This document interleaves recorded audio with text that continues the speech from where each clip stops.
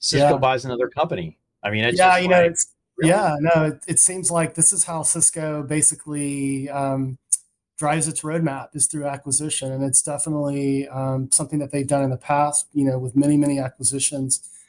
But you know, I think the timing for this is is quite ideal. Cisco is really focused on uh, delivering its uh, security solutions through the cloud. And what I really like about Armorblox is, you know, they've been around for four or five years, so they're just not a startup that they just picked up for some intellectual property. So yeah. they've had some, you know, some track record here. But you know, again, we're going to talk about generative AI, and and so this gives Cisco that capability.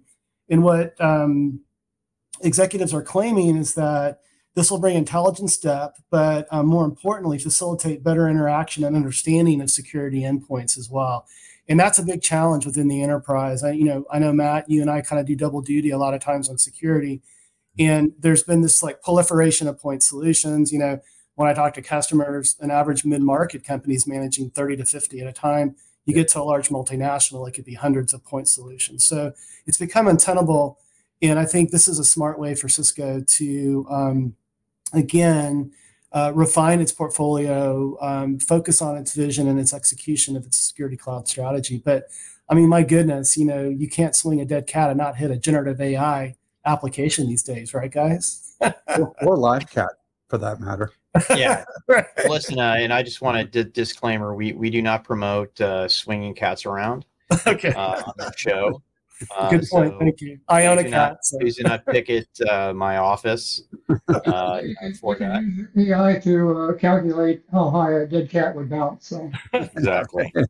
so, uh, Will, you're absolutely right. I mean, I, I think 75% of my briefings and advisories are around how uh, enterprises can best unlock the value of generative AI. And by the way, AI, it's so funny the way that kind of the uh, the hype curve uh, goes. I mean, the first AI algorithms were developed in the 1960s, yeah. and then we saw AI that was more like analytics, wasn't using machine learning or deep learning.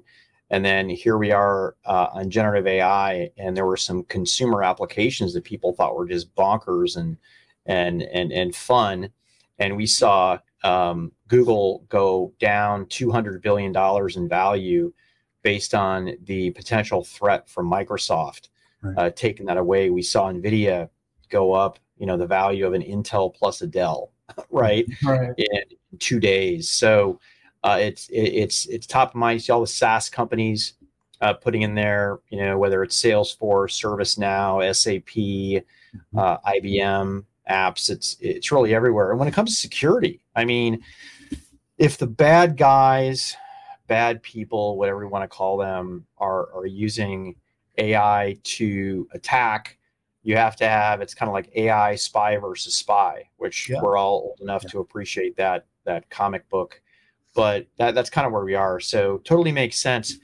On uh, on Cisco's earnings call, uh, Chuck outlined three uh, core areas of growth, and number two is security.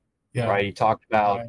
the Cisco Security Cloud, which I like to call it fabric, right? It's essentially networking. To get the security cloud, you have to have the networking fabric, yeah. right? All the context around it. Yeah. Yeah, it's like a twofer, and I like it because it it really makes the hybrid multi-cloud a reality. Because enterprises know that they're going to be multi-cloud and they're going to have some of it hybrid, and I, I like that play that that Cisco uh, is making here.